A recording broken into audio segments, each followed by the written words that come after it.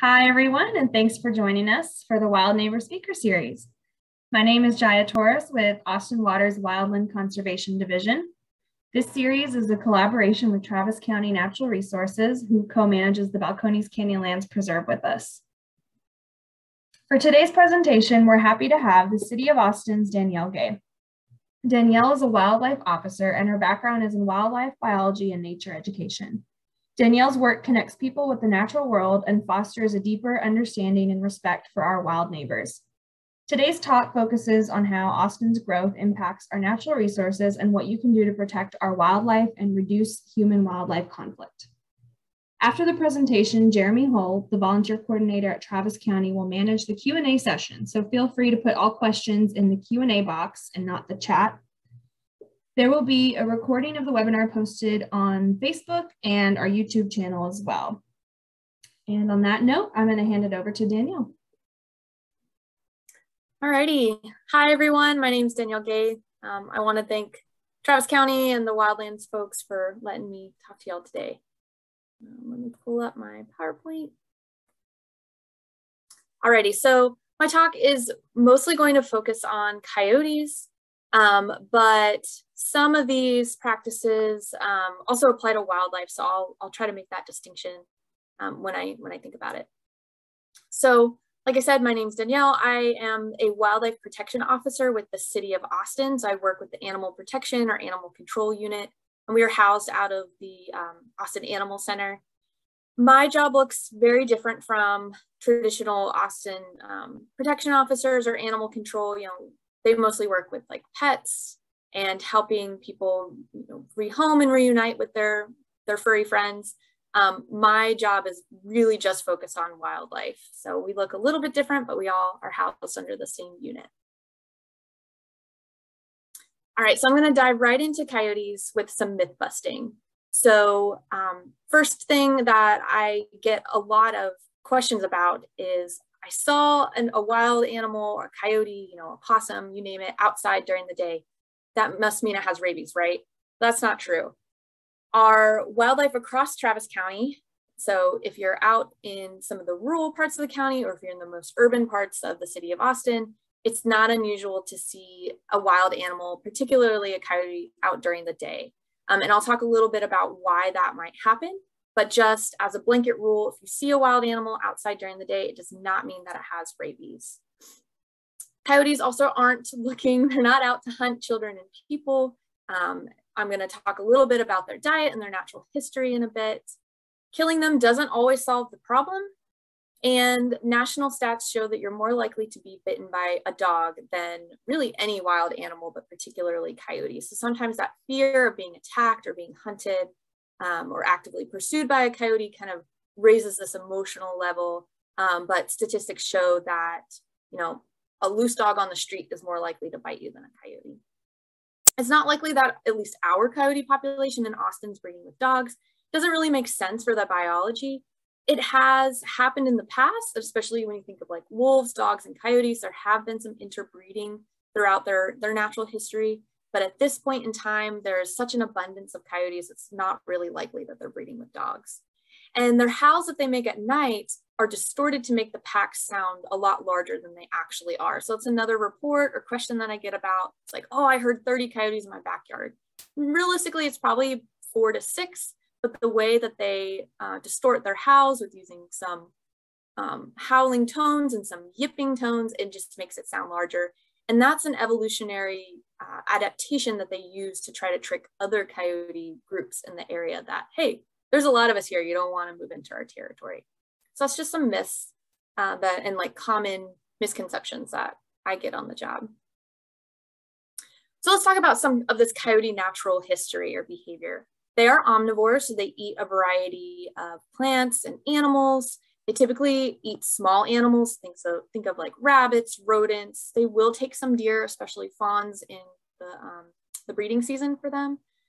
Um, and on top of being omnivores, we consider them opportunistic omnivores. So that means that they already eat a variety of foods between plant and meat, but they will take almost anything that's at their disposal. And so that also means our food. So they may get into your garden and take some of your fruits or nuts.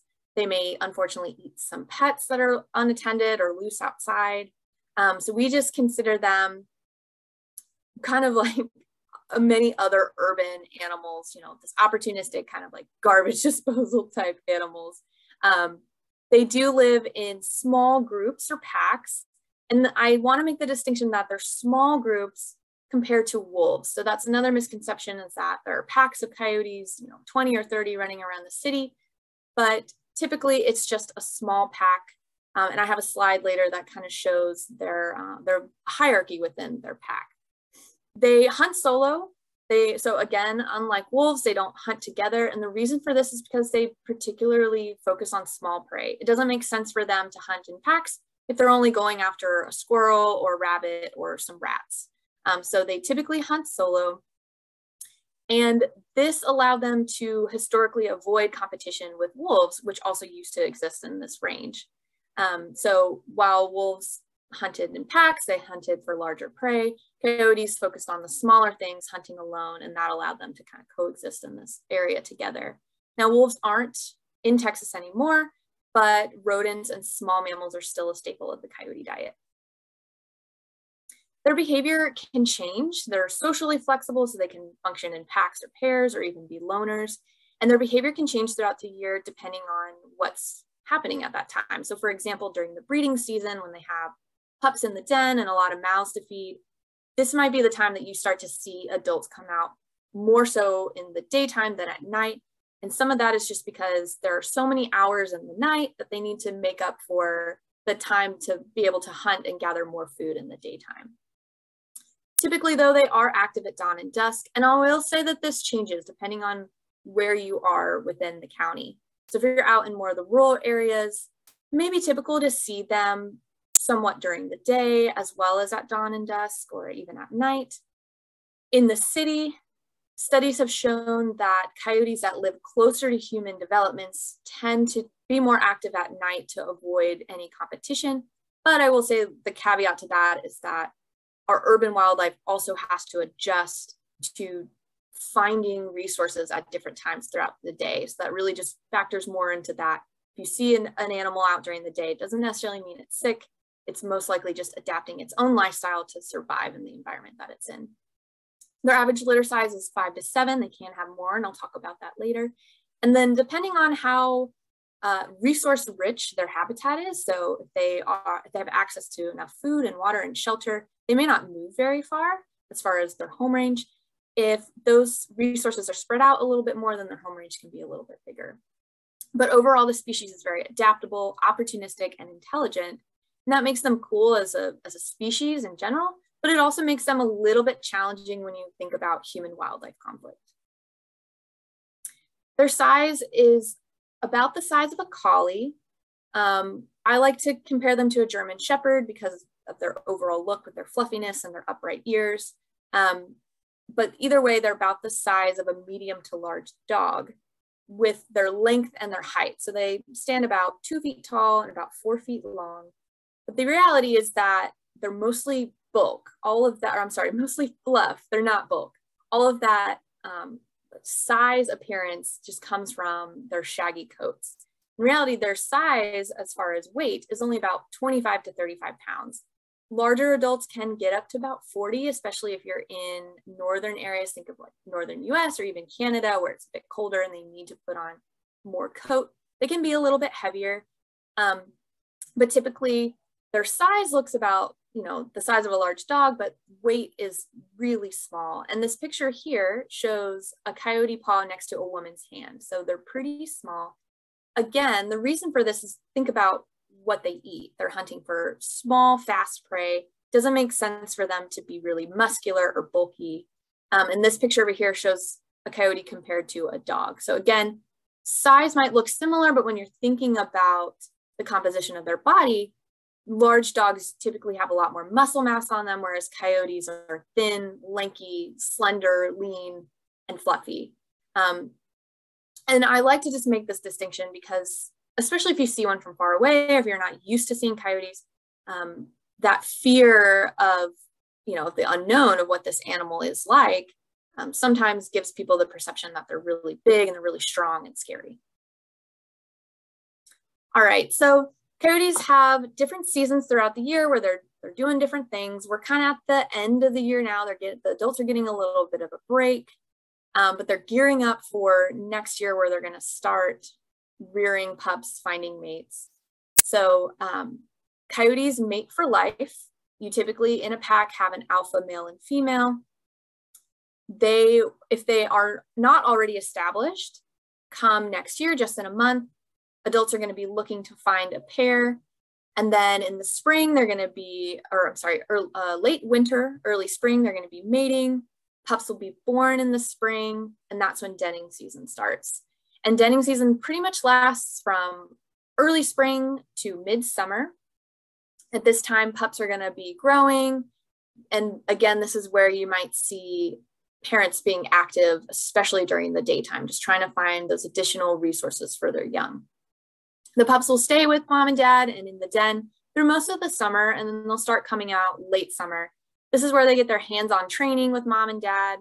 Um, you might see them, like in this picture down here, you might see them start to come out on their own and wander a bit. You'll see a lot of play during this time.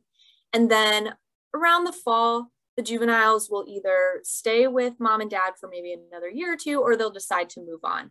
And um, this year has actually been slow with our reporting, but um, October through the December is the time of year that we tend to get quite a bit reports about coyotes. And a lot of this is the juveniles, you know, this is their first time really out on their own. They're, you can think of them like teenagers. They tend to be a little more visible, maybe get themselves in a little more trouble as far as um, being out, especially during the daytime or maybe just being a little tricky. Um, and this is typically when we get a lot of reports of, of coyotes.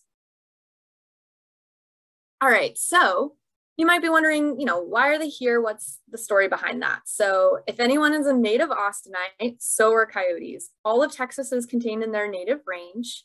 And as far as the way our city's built, we really provide them a lot of habitat and resources. So whether, again, whether you're in the county and some of the more rural areas, or if you're in urban spaces, we have lots of habitat fragments that connect our city and allow them movement corridors to, to get around.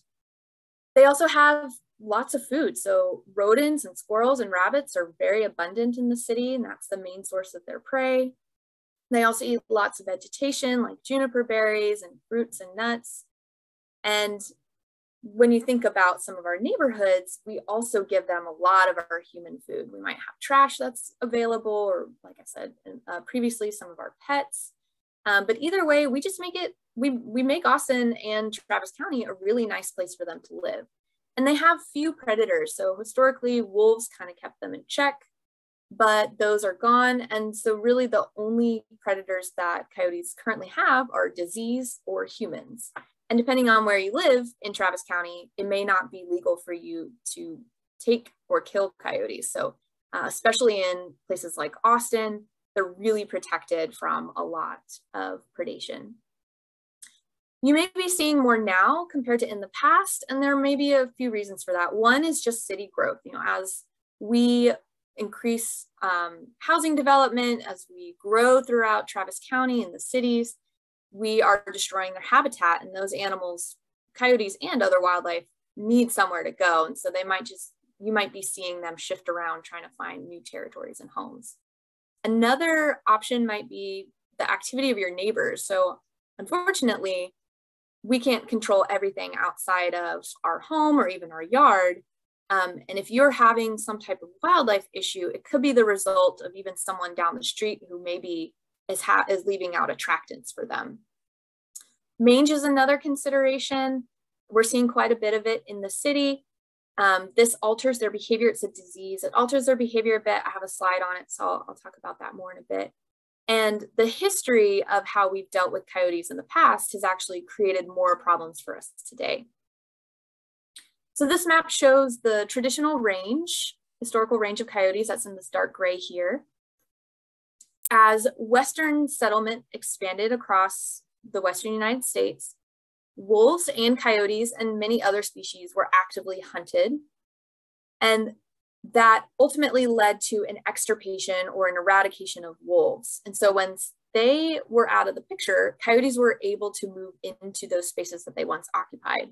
And so you can see um, on this, with this graph on the left, and then also with these arrows, you can kind of see the movement and the timeline that it took them uh, to move from this plains and prairie kind of southwest area to pretty much all of North America from Canada all the way down to Mexico. So they are here to stay.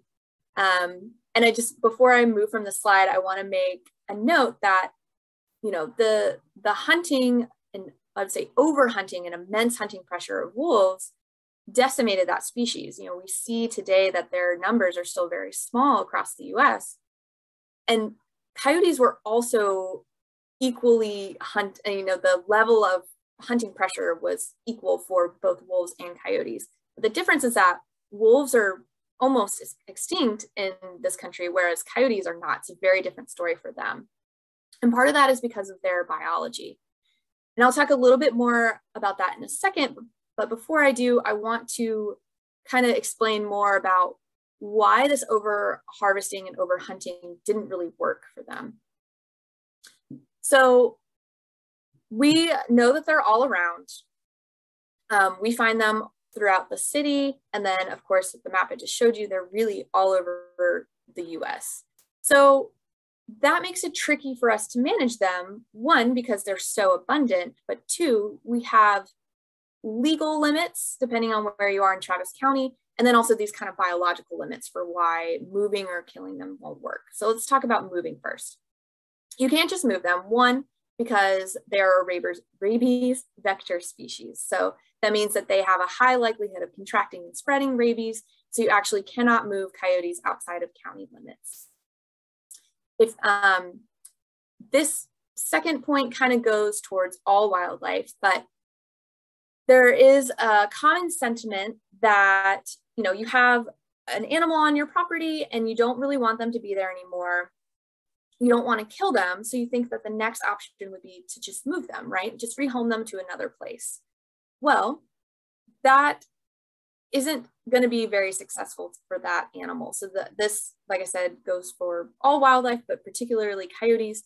You're moving them from a territory that they maybe established themselves or they were born into. They know that space very well. If you move them, you're moving them likely into another coyote's territory. So you're going to be um, they're gonna have a conflict with that coyote pack. They don't know where the, to find their food, their water. They don't know, you know, where maybe their escape routes are from, if there are any predators in that area, including the other coyote pack. So just think of if someone did that to you, right? You're sitting in your living room and someone just scooped you up and put you in a completely other state.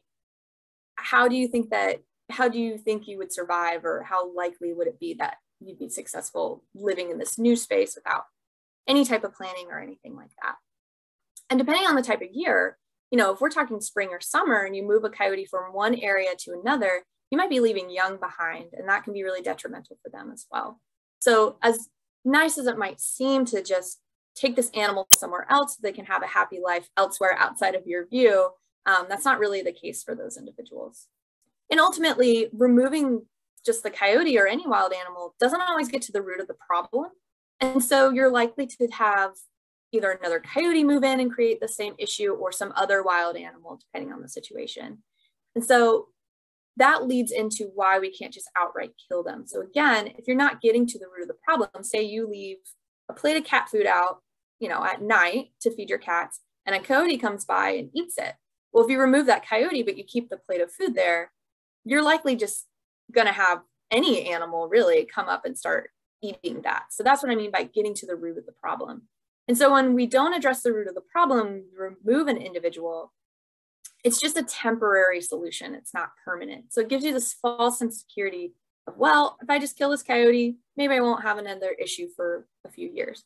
And that might be possible, um, but this point down here that I want to make is that a lone coyote that's looking for a new area to establish can fill that void in as little as two to three weeks. So if you're not addressing that root problem, you're likely just going to continue to have issues with these wild animals. Traps of all kinds are illegal in the city. You have to have special permitting. Um, if you're in the county, it's not the same situation. Coyotes can be trapped and killed um, within outside of city limits within Travis County as long as you're following state regulations.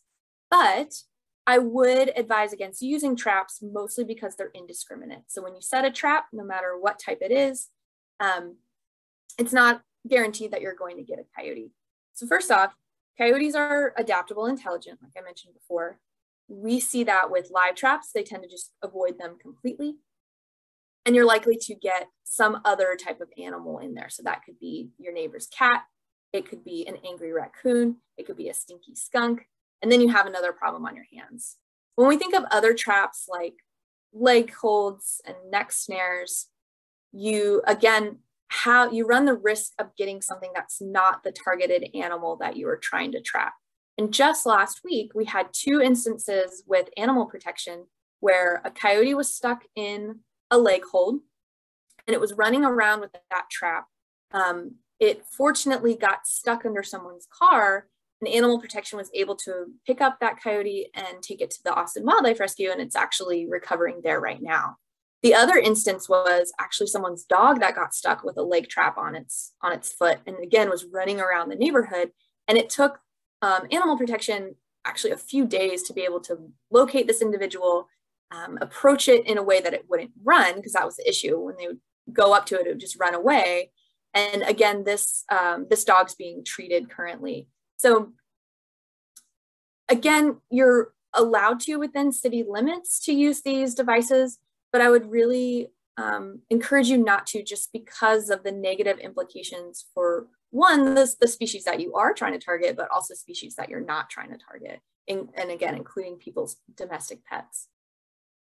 Now, coyotes are, um, you know, I showed you with that map of their expansion, coyotes are actively being hunted pretty much all the time. We kill around 500,000 a year. It's about one per minute. And the reality is that it's not doing much to limit their populations. The reason behind that is because when you remove individuals from the pack, remember I told you there's an alpha male and female, and I have a slide in a minute that um, will show this a little bit more clearly. But when you remove individuals from the pack, it sets off a biologic response to make them overcompensate for these losses.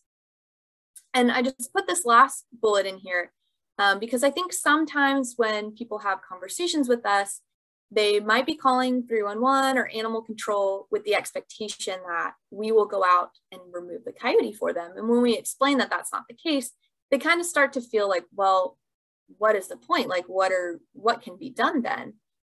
And if there is an actual human safety threat the city can respond to that individual. I will say though that the history of our coyote program and our 311 program, we have not had actual attacks on people. But that gives you a little bit of peace of mind. The city can intervene and take lethal responses if we need to. All right, so this is that slide I keep talking about. This gives you a nice visual of how the hierarchy or the pack structure is laid out. So you have this alpha male and female, they're the only ones in the pack that breed. So each year they're going to have some pups.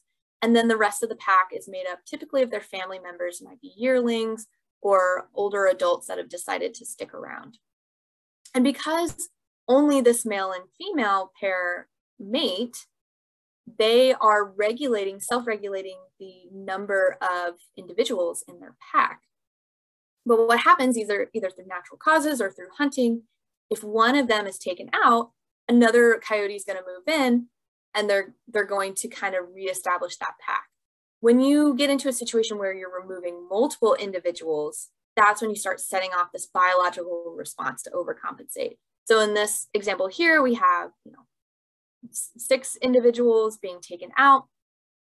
This alpha um, um, coyote right here is going to start looking for a mate there you go here's the the loner that's moved in because they ha- have already seen such a loss in their their numbers within their pack, this pair is going to ramp up their um, their offspring litter size. So that's when we can get into those, you know, up to 16 in a litter. On top of that, these yearlings or older adults that have been hanging around are also going to find mates and do the exact same thing. And all of this is just to remake, uh, to to make up for these losses, you know, they they sense that their pack is being hunted and they want to make up for that. Now, thinking about this a little bit further, So, okay, so I would say when I first saw this concept, it didn't quite make sense to me. I'm like, okay, well, how can you possibly sustain all these litters of, you know, up to 16 pups?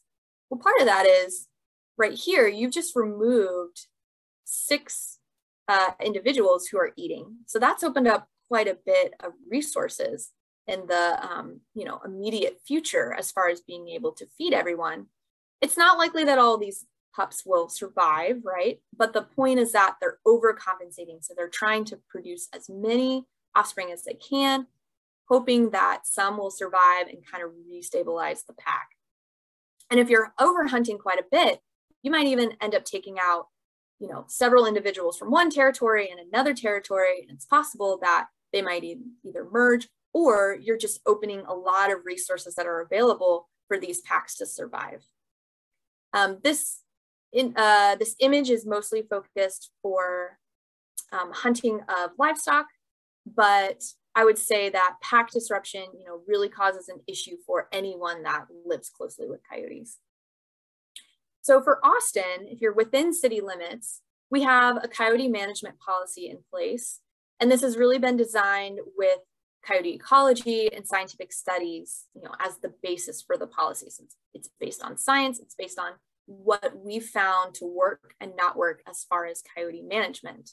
And because of you know this concept in particular, the city has really moved away from a lethal response method um, as as part of their. It's not their first response, right? I said if the city is having a human safety issue, lethal response is on the table, but it's not the first thing that we go to when we hear about human coyote conflict. So this policy within, again, I want to stress this, this is within city limits. So if you're in other parts of the county, you know, you can, as long as you're following state and federal regulation, you can kill and trap coyotes. Within city limits, it's completely illegal to kill or trap. Um, so we advise using tactics that alter the behavior of coyotes. I'll talk a little bit of that later. Um, and also promote some humane exclusion instead of outright killing and trapping. And the main goal of this is to educate and give residents more options. So when they call 311 or they talk to me, you know, I'm able to right away give them some peace of mind, give them some suggestions or answers to any questions that they have, and also give them options for the specific situation that they're dealing with. And so instead of just someone feeling like they need to go out and kill the coyote and hope that that takes care of it, you know, with this management policy, we're able to kind of work through some steps, identify what those root causes are, and then go from there as far as making an action plan. And again, we haven't had any human attacks, human attacks in Austin. Now, we do get quite a bit of pet attacks. And when I talk about a health and human safety issue, that literally just means humans. Are humans involved? Um, are humans' lives at risk or in danger? This can i think it's not confusing but it it there's a lot of emotion involved right? When um, when i get a call from someone that says that their pet was taken by a coyote obviously that is very devastating for them and that's something that we don't want to hear. But as far as is that particular instance one that warrants lethal response? The answer is no. Um, so by human attacks and using lethal response we really only mean public and human safety and I'll talk a lot about pets in just a bit. So the goal for our management policy is to maintain a balance between public safety and concerns that people have about coyotes living in the city or in the, the county, but also thinking about what is best for our wildlife and treating them humanely. And when we get any type of wildlife activity, especially with our coyote activity, we go through a response guide to see what the best management tools are, depending on the situation. All right, so what is it about our yards, our neighborhoods, or even the county or the city that really brings not just coyotes, but all wildlife in? And so a lot of what the, the ways that we live really can attract or not attract wildlife. So this is just gives you a few examples of some things that might be attracting wildlife or coyotes to your yard or your neighborhood. So anything from unsecured trash and compost, if you're feeding wildlife or even pets. Um, so this picture right here has a bunch of plates of cat food that are left out. Obviously, that's going to attract anything um, to your yard.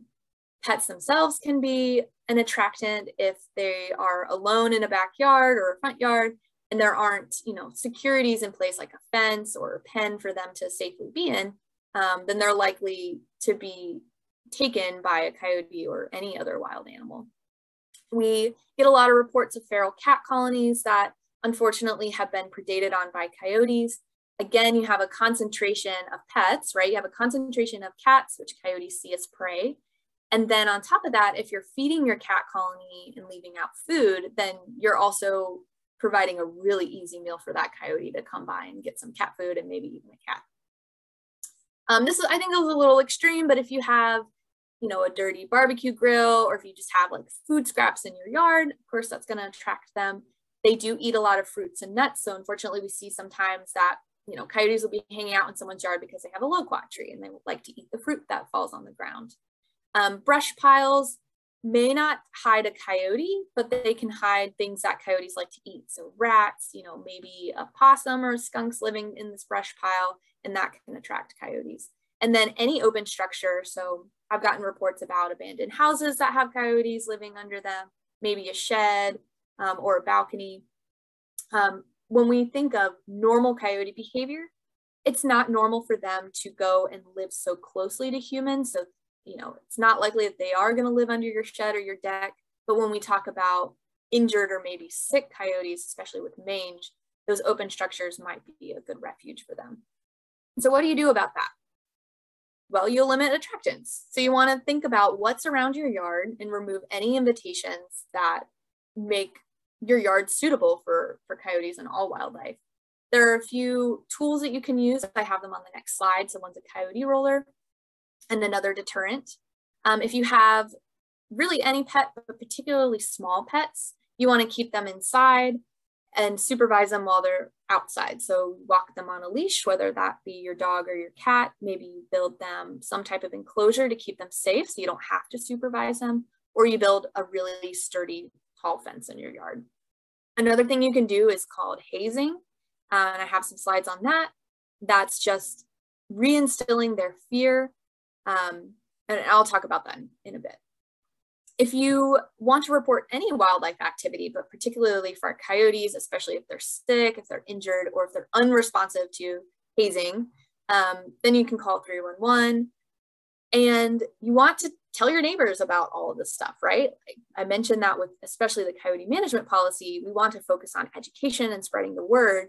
And so telling your neighbors about all that you've learned today is going to also give them a suite of resources and tools and information that they can use. And I think it's important to remember that our behavior shapes coyote behavior. So our behavior as far as limiting attractants can shape their behavior um, because we're we're no longer giving them these handouts in our yards or in our neighborhoods. So here's some of these deterrents. This is a coyote roller. Coyotes can jump about six or seven feet. So it's really ideal if you have an eight foot or nine foot fence. I realize that's not um, possible for everyone.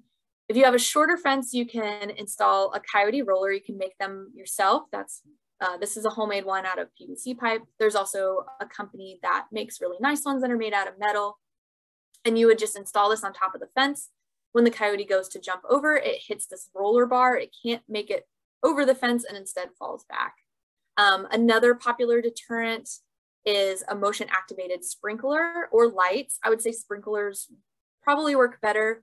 And especially if you're having a coyote come around during the daytime, a motion activated light is essentially going to be useless. But with a sprinkler, as you can see with this rabbit, anything that walks past it is going to get this hard jet of water sprayed at it. And over time, this might make the coyote or really any wildlife feel uncomfortable to go into the yard. If every time they enter the space, they just get sprayed with water. All right.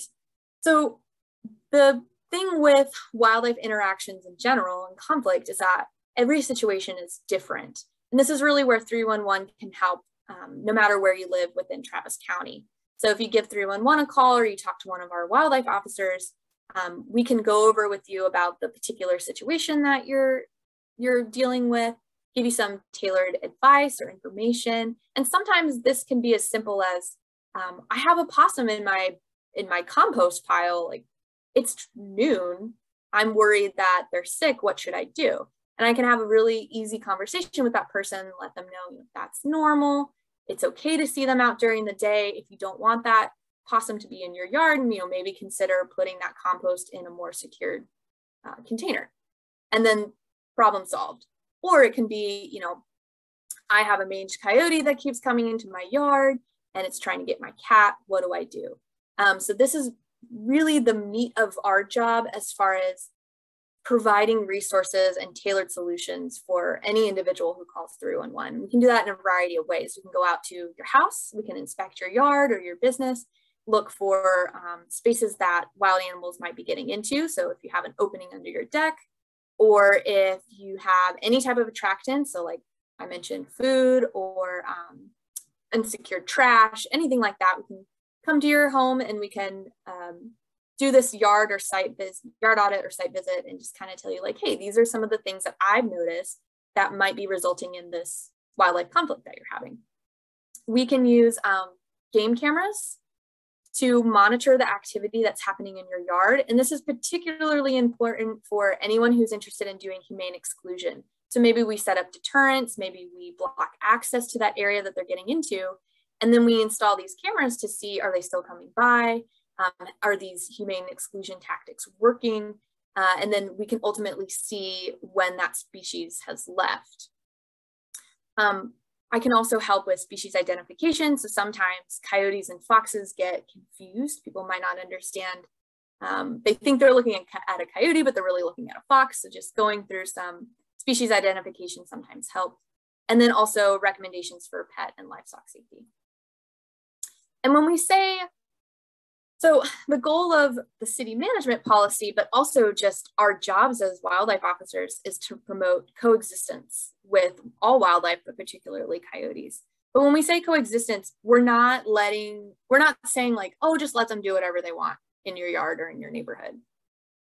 And I have two examples here, I think that explain this very clearly. So um, in this particular situation, this coyote is just hanging out, maybe looking for food. This person's walking their dog uh, and they're just ignoring this behavior.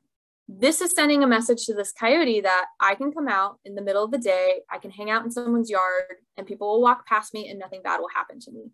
And ultimately, you're shaping the behavior of this coyote to continue to, to do this activity. Um, this situation, this person is trying to take a photo of this coyote. They're very close to that coyote that's a perfect photo opportunity for them. But again, you're sending this message that I can approach humans and nothing bad will happen to me. And so for us, we like to use this tagline of we want to share space, right?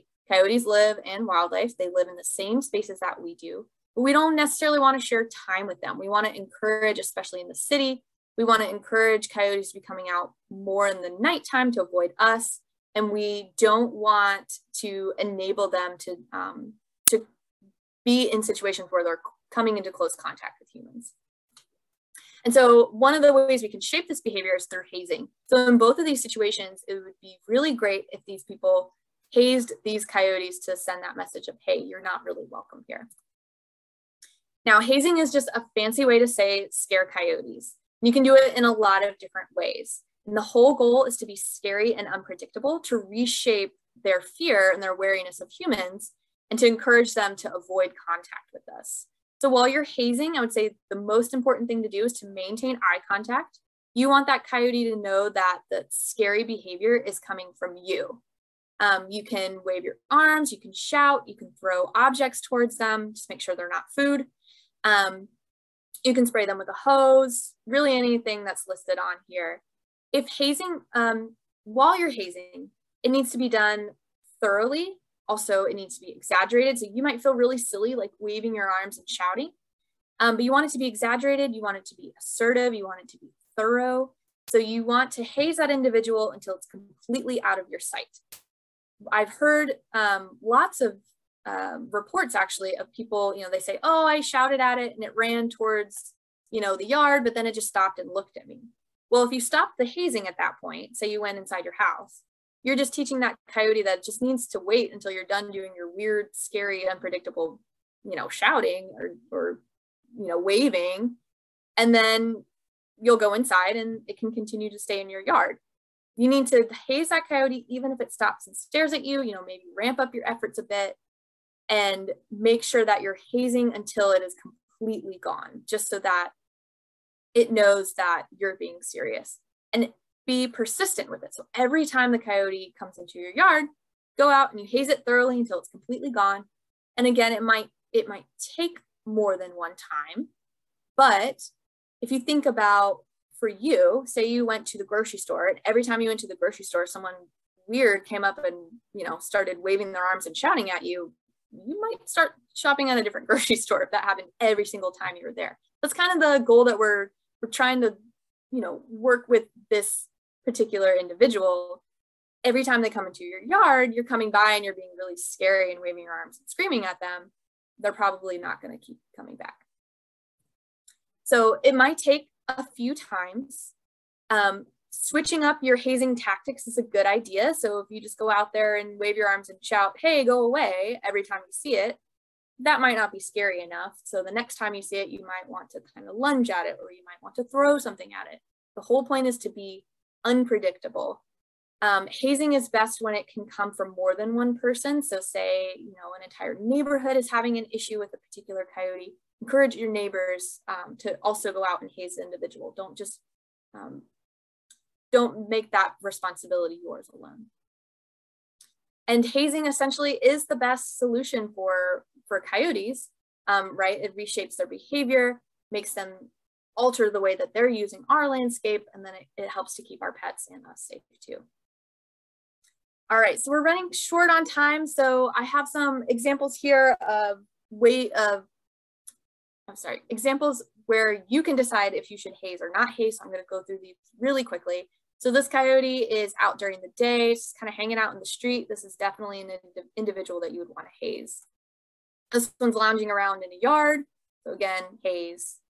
Uh, with this particular coyote, I, I was thinking that, you know, this is maybe like a natural space or a city park. Um, this coyote is out during the day, but because it's in its natural habitat, we're going to encourage you to not haze this individual. So we don't want to send the wrong message. We want to haze when coyotes are entering our spaces, our yards, you know, our neighborhoods. But if we're in their home, say the green belt or any type of park, we want to just leave them alone. That's where they live. So don't haze this one.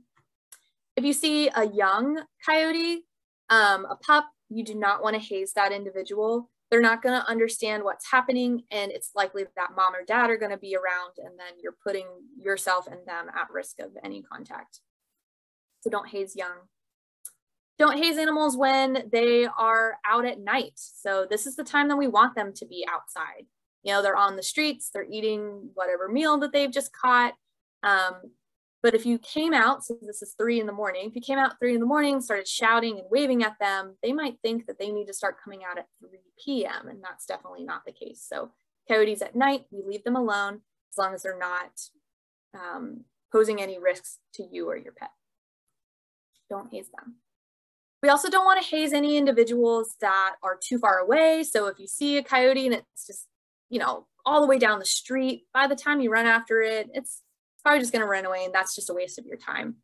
You don't want to haze any coyote that's cornered. Um, so that's going to make them most likely react in a way that they are going to protect themselves, right? So, um, and that puts you and the coyote at risk of an interaction. So don't haze any animal that's cornered. The best thing to do is just to walk away. And then again, don't haze any coyote that has pups around because you're going to also make this individual feel like it needs to protect itself and it's young. We also say not to um, haze coyotes that are sick or injured. And again, that's just, it's especially if they can't run away, um, they're gonna want to defend themselves and that's just not very humane to, to be has, uh, hassling, you know, a sick or injured animal. The best thing to do in that situation would be to call 311. Now I will say there's an exception for mange. In this picture here shows a mange coyote. Um, I have a slide on mange just after this. This coyote is one moving, right? We can see that it's walking around. I would say in this particular instance, you want to haze. This animal is, you know, being afflicted with a disease. It's looking for easy food and water and maybe shelter. But the fact that it's able to get around pretty easily, you you want to haze this individual to encourage it to move on. If it is so sick that it can no longer move, then that falls under this, this category of just go ahead and call 311. All right, so mange is uh, caused by a mite that burrows under their skin. It causes hair loss and secondary infections because they're, they're doing a lot of scratching and opening wounds on their skin. Um, and especially in places that are a lot colder than Texas, or if we keep having, you know, winter storms, um, that loss of fur really exposes them to the elements and, and they can ultimately succumb to death that way. Treatment is near impossible. We don't have any mange task force in Travis County or in the city. Um, and the treatment for it really just hasn't been studied very much. Um, and so ultimately there's just not much that we can do.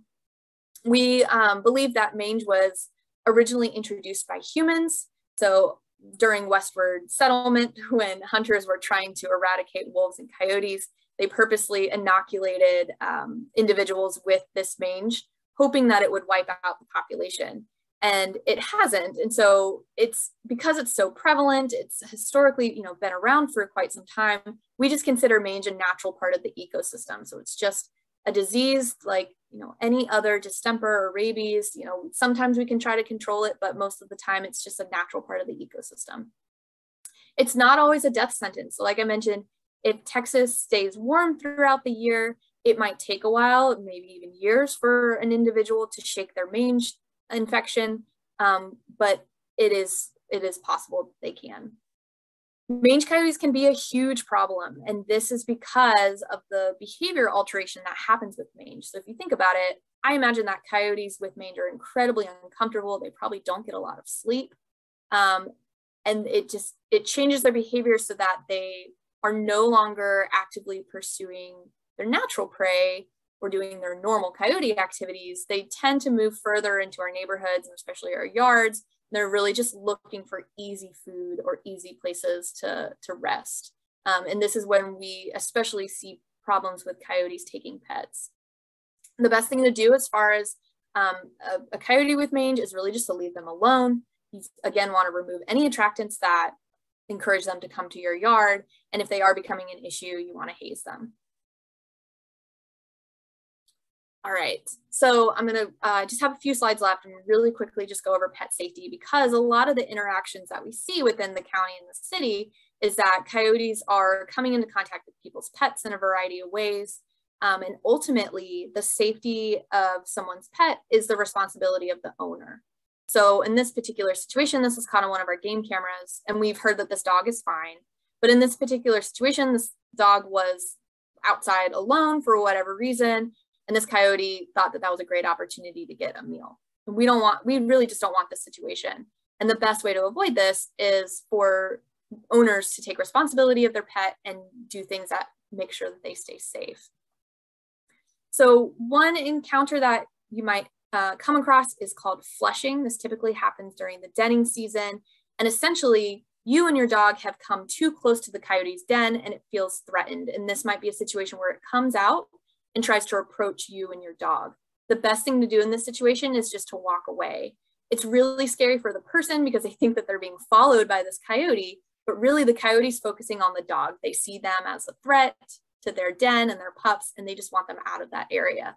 Um, if this happens to you, definitely report this to 311, um, especially if you have any questions. We, we like to know when flushing behavior is happening and keep dogs on leash in designated areas. We do have some off leash areas, you know, across Austin and Travis County. Um, and you may encounter a situation like this where your if your dog is off leash, they might try to um, chase the coyote or the coyote might chase your dog. And then you have an issue where your dog may be lost or you have to go get them. Um, so especially if you're in an on leash area, we really appreciate you following city and county um, leash laws and keeping your pet right next to you, it will avoid any type of uncomfortable encounter. All right, so again, keep your pets on a leash when you're outside. That um, keeps them safe and it gives you peace of mind because they're right there and they're under your control. The shorter the leash, the better. Um, our, our city law says at least a six foot, or I'm sorry, at most a six foot, um, but you can do you know anything shorter if you like. We say to avoid extendable leashes mostly because, you know, if your dog is on a extendable leash and it's 10 or 20 feet away from you, one, if there is an encounter, you're not able to grab or move your animal close to you. Um, and also the extendable leashes, you know, they're so thin, it's not always apparent that your dog is on leash. And we think that this is the same case for, for coyotes. You know, if they're really far ahead and there's just this almost invisible line that's connecting them to you, they might not realize that that's a leash and they might try to take that opportunity to, to take the pet. Keeping your doors, this is, you know, a bit of a repeat, but we really like to stress that pets, especially small dogs and cats, really should stay inside or be monitored outside to protect them from all kinds of um, issues, especially coyotes. Don't let your pets explore dense vegetation. So if you're in a park, you know, I actually used to have a habit of letting my dog do this and he's found quite a few like snakes. So don't let your pets, um, don't let them off leash and let them run through dense vegetation. When you're on the trail, you know, try to keep them from sniffing stuff where you really can't see what's in there. Feed your pets inside. And if you, um, you know, if you just, that's just your routine that you feed your pet outside, you don't want to change that, you can alter the ways that you do that. So maybe feed them at a specific time or, um, you know, only feed in the daytime. And when they're done, just take that food inside. Don't leave it out all the time for anything to get access to. And don't let your cats roam the neighborhood. You know, they have, um, I actually have this slide here. Cats face a lot of stuff when they're left outside. They could be hit by a car, they could get lost or stolen, they could be attacked by a variety of animals, get diseases, you name it. Um, so we really like to encourage people build a catio or an enclosure for your cat or even your dog, you know, if they want to enjoy that time outside, giving them some type of secured area that they can stay in, right? They won't, you won't run the risk of them getting out and you won't run the risk of anything coming in and um, harming them. All right, so overall, just we want to uh, limit attractants. We don't want to make it, we don't want to make a habitable, habitable place for wildlife or coyotes. We want to give them consequences if they're coming into our spaces. We want to make sure that we're employing our best pet safety practices to keep our pets safe. And then of course, educate um, your friends and family and let them know what you've learned today. Now I wanna stress on this last slide that if you are someone that appreciates having wildlife in your yard, you know, that's okay too. I don't want to send the message that if you have a possum in your yard, you have to get rid of it. We really focus on, you know, the limiting attractants and shaping your behavior to shape coyote behavior or wildlife behavior um, in the instances where it's becoming a problem.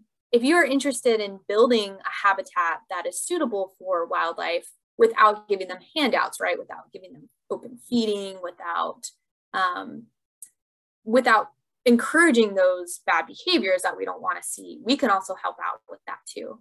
So I have my contact information here and Emery Sadkin is our county officer. So if you have any issues, um, you can call 311 or this is the uh, the main line if you if some 311 doesn't work in all areas throughout the county. So this is our main line as well. Um, and you can talk to one of us about your issues and hopefully we can help you out. Awesome. Thank you so much, Danielle. There was so much great information there. Um, I just want to say to everybody, we've got, uh, Jaya's posted some links in the chat if you want to learn more about the BCP and the maps around our area, so you can check that out. And then we have quite a few questions in the Q&A. We're going to get to as many of them as we can, and um, we'll go from there. So the first one, we had several questions, and I want to, you just hit it on your last slide quite a bit, but I wanted you to reinforce that knowledge of you said, I know you're with the city, but who do we call if we're in Northwest Travis County? What about Round Rock? What about Williamson County? We have just a huge list of, you know, what about me?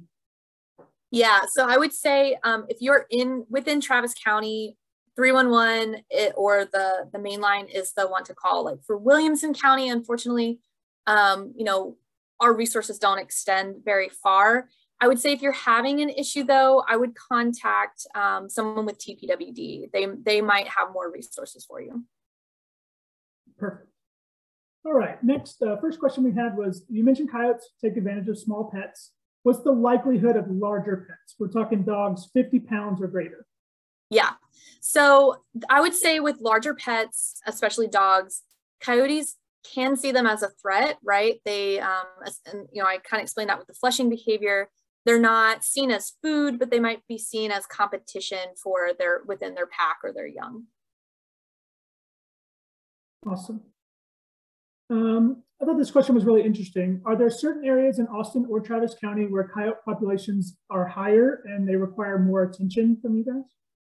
Yeah, so this is an interesting question. Um, we don't have, so as far as getting like a population estimate, we'd really need to be able to track individuals. That would be like putting some type of GPS collars on them or doing some genetic analysis um, to discern individuals. And we're unfortunately not doing any of that work.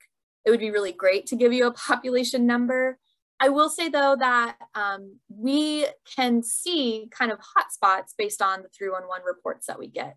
And really they, they alter by month or even by year. Um, so back in like October, I was getting a lot of reports from Southwest Austin, as far as mange coyotes particularly. Um, I don't have a lot of data on the, the county calls. Emory would have that, but um, it really just varies. But we see, I mean, I would say that there isn't a space within Travis County that we have not gotten some type of report from. Um, but as far as, you know, places that need a little bit more attention, that can really change depending on the season or the year. Excellent. The next one popped up when you were talking about population sizes and the, the numbers that are killed um, every year. Is it a concern that coyotes can overpopulate an area as the deer do in our area? And it's um, then he followed up with, does their intelligence not overcompensate for them being killed?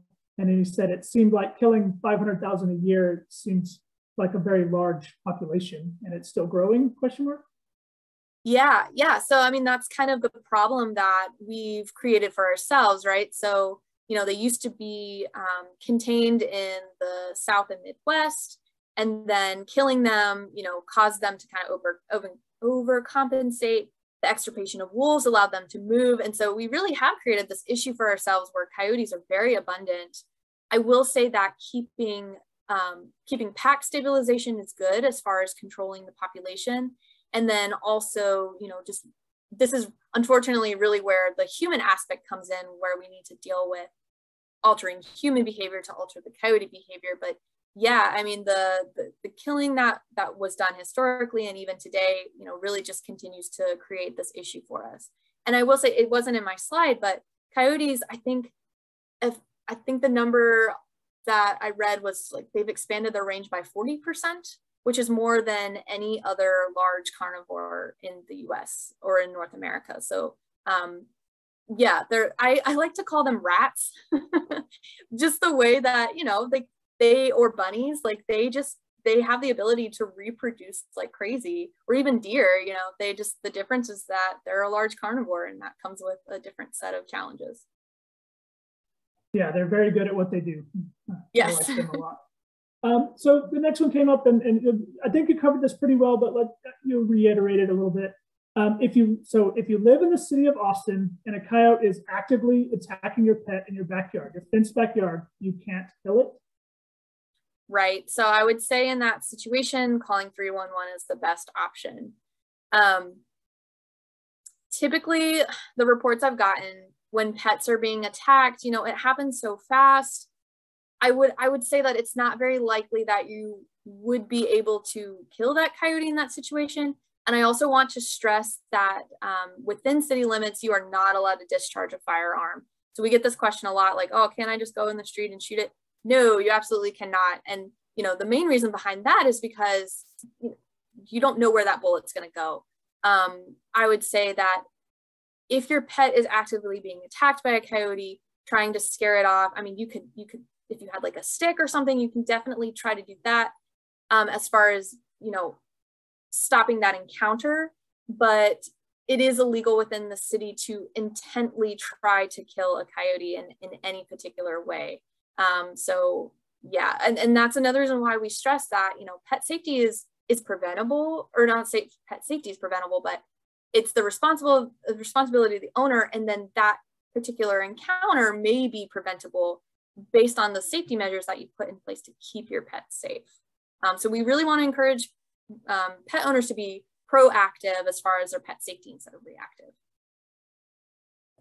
Excellent. Thank you very much. And we still have some questions in there, but we're right against that hour. And in respect of everyone's time, we're going to go ahead and stop there. Danielle, I just want to thank you. This was an excellent presentation. Um, it will be recorded and shared on our websites for future. It will be an amazing reference uh, for folks going forward. So thank you very much for joining us.